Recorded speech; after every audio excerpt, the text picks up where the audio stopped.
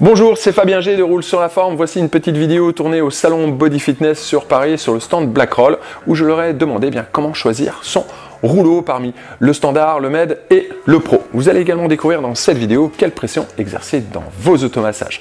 Je vous dis bonne vidéo. Si vous voulez me suivre, cliquez sur le bouton juste ci-dessous. Et si euh, bien cette vidéo vous a apporté quelque chose, euh, bien pensez à me donner un petit pouce bleu, un petit like. A tout de suite. Il y en a un qui est un peu plus léger. Ouais.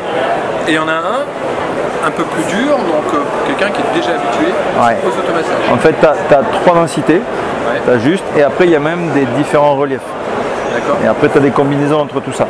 Mais la base, on va dire que 95 voire plus des ventes, du black roll standard. Après ce qui change c'est la couleur.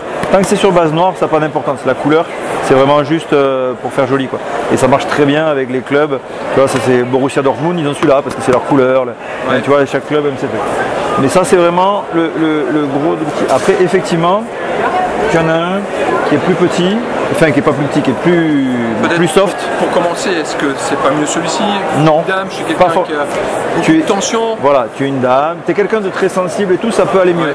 Après, c'est ce que je l'expliquais tout à l'heure, c'est que euh, tu utilises le noir, tu trouves que c'est un peu douloureux.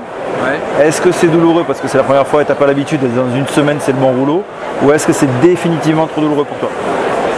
C'est vraiment pour des personnes très légères, euh, très sensibles, que tu vas passer là-dessus. En milieu médical, on utilise un peu plus, d'ailleurs il s'appelle le MED, mais, euh, mais après, sur beaucoup, on va passer sur le standard. Après, Parce que c'est vrai qu'au départ, la première fois qu'on fait des automassages, on grimace ça fait mal. C'est normal. On grimace un peu parce qu'on n'a pas forcément les bonnes positions, on n'a pas forcément la bonne pression au départ, on n'a pas forcément, on cherche la bonne tension, donc c'est vrai qu'il faut. C'est pour ça que je t'apprends, je t'apprends derrière comment te passer, comment gérer la pression par ta position. Il n'y a pas que l'outil à changer, c'est la façon dont tu l'appliques. La façon dont. Ouais, c'est que tu vois ce qu'on a fait tout à l'heure sur les mollets, on se met un pied ou on se met deux pieds, on se met carrément deux pieds avec un pied sur l'autre. Tu vas gérer les niveaux de pression, les niveaux d'intensité par ta position. L'outil en lui-même, euh, après, euh, soyons bien clairs, si tu viens dans ma salle qui a tous les outils devant toi, aujourd'hui tu es un peu tendu, tu vas utiliser celui-là, l'autre jour tu vas utiliser l'autre. Maintenant, est-ce qu'on est en train de parler de l'outil que toi tu vas t'acheter pour avoir chez toi Si tu vas acheter toute la gamme, ça me va. Mais mon conseil, ça va être d'acheter plutôt le standard. sauf ce cas particulier. Le mauvais ami, le, faux ami, c'est lui. Parce qu'il s'appelle Blackroll Pro, il est plus cher. Euh, donc tu vas avoir des gens qui vont commencer avec les massages, qui vont dire bon, à m'y mettre, je vais investir, je vais prendre le pro, c'est quand même. D'accord, parce que je suis un sportif de niveau. Et donc euh, à, le prendre, je vais prendre la version de luxe, le pro. C'est pas du tout le cas. C'est juste le plus dur. Ça, pour te donner un exemple, euh, les joueurs du 15 de France, ils utilisent en quasi-totalité du standard.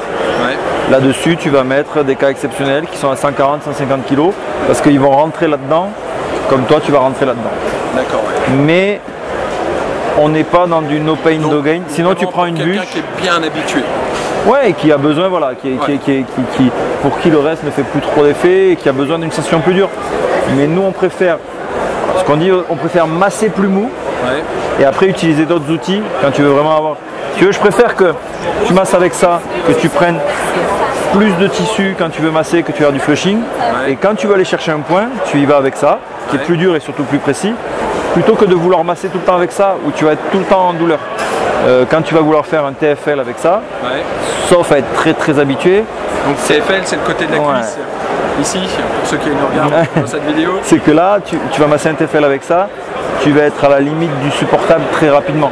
Donc, tu seras au-dessus d'un niveau acceptable pour que ton corps accepte de se décontracter. Tu vas être en train de de faire un exploit, d'arriver à te rouler sur cet outil-là sans pleurer. Et c'est pas le but, parce que là tu relâches pas. Si tu es pas dans une zone de à peu près confortable, tu vas pas accepter le relâchement.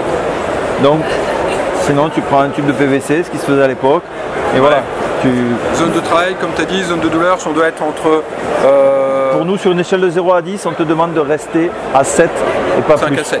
Ouais, voilà. Il faut quand même aller pousser un petit peu ta limite et être dans une zone légèrement inconfortable, mais il faut pas que ce soit insupportable. Voilà, c'est ça. Sinon, tu ne seras pas dans le relâchement. Très bien. Merci Jacques Olivier. Allez.